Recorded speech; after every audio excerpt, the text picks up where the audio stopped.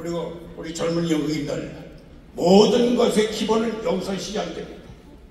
여기서 한 달 내지 한 달 반 동안 연습하면서 화술, 행동, 표정 여기서 기본을 다 닦고 나가야 됩니다. 그럼 모든 매체 여기서 다 통할 수 있어요. 근데 그게 안 되는 배우들은 모델 스타로 끝날 수 있습니다. 액팅 스타가 되는 액팅 스타. 액팅 스타는 무대 에서 시작이 됩니다. 앞으로 열려는 게스트 열어준 대한민국 역제 또 우리 대학생 역제 적극적으로 참여하기 권유하면서 누구죠? 사람이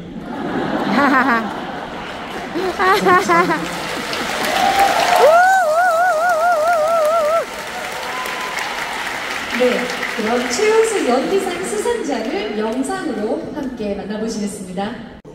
화려하게 마무리될 수 있도록 적극적으로 손을 주신 우리 이상인 시장을 비롯한 관계 직원 여러분들 그리고 시의장을 비롯한 의원 여러분들 그리고 특히 열성적으로 후원해주신 용인 시민 여러분에게 영국인 한 사람으로 정말 깊이 머릿속에 감사드립니다.